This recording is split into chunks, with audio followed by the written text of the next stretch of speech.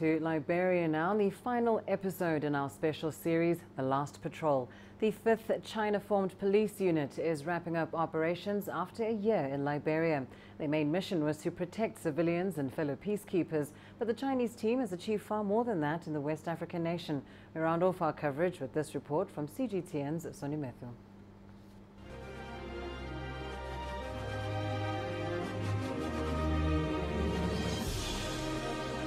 We spent a little more than a week with this team. A fascinating but fleeting insight into the challenges they face in Liberia. And just what it takes to make the grade as a Chinese peacekeeper. They've won friends among the community, won admiration from their comrades in the peacekeeping force UNMIL. Farid Zarif heads the mission in Liberia. The Chinese Formed police units uh, represent a high quality of professional competence. They're very disciplined, well trained, and quite committed to their tasks. Not only have they been providing uh, normal duties of a police unit, but also have gone beyond the call of duty and reached out to the communities and also provided some training and mentoring to the Nigerian National Police and uh, enhance their ability to perform their own tasks without dependence and reliance on foreign assistance. But now they're going. What is the legacy they leave behind? We spoke to people who've come to know the various Chinese peacekeeping missions over the 15 years of their deployment. This is their assessment. The technological advances that China have introduced and then uh, implemented within the FPU here are noticeable because of the additional funding that China has put in.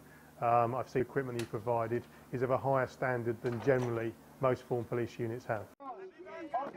The Chinese have broken new grounds in training partnerships, working alongside fellow peacekeepers from Nigeria. The UN plans to use the model elsewhere. The willingness of the Chinese FPU to engage, both with the Nigerian FPU and with the Liberian counterparts, has been excellent.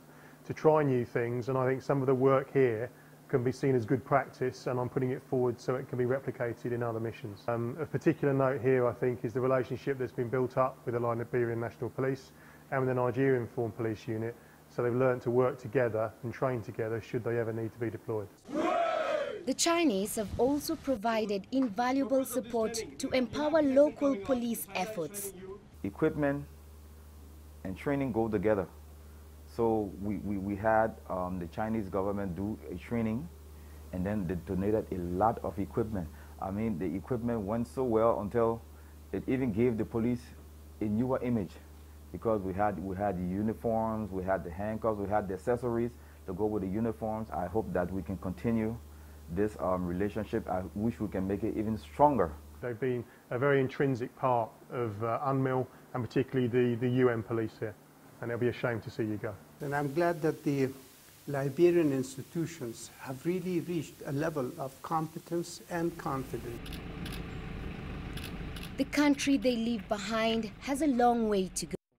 Even now, it bears the scars of brutal civil war.